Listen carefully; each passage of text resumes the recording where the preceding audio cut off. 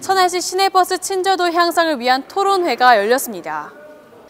사단법인 소비자 시민 모임 충남 천안 아산에서 주최한 이번 토론회는 시청 대회의실에서 시민 및 관계자 200여 명이 참석한 가운데 서민의 발인 시내버스의 불법 운행 반지 및 운수 종사자 친절도 향상 방법을 찾기 위해 열렸는데요. 이날 행사는 개회식과 축사, 유공자 표창, 경과보고, 토론 등의 순으로 이어졌습니다. 우리 천안시가 더보다 쾌적한 그 대중문화를, 대중교통 문화를 만들어 보겠다는 의미로 해서 오늘 시작을 했습니다.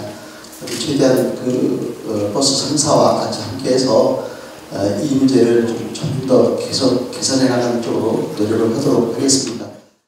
이어진 2부 행사에서는 사단법인 소비자 시민모임본부 홍민아 부장이 소비자가 바라본 천안 시내버스 친절도 향상을 위한 개선 방안 모색이란 주제의 발제를 시작으로 단국대 김동윤 교수를 좌장으로 한 지정 토론이 진행됐습니다. 천안시는 이번 토론회를 통해 시민 불편 사항을 지속적으로 보완하여 친절 서비스 만족도 향상과 선진 대중교통 문화 형성에 기여할 것으로 기대하고 있습니다.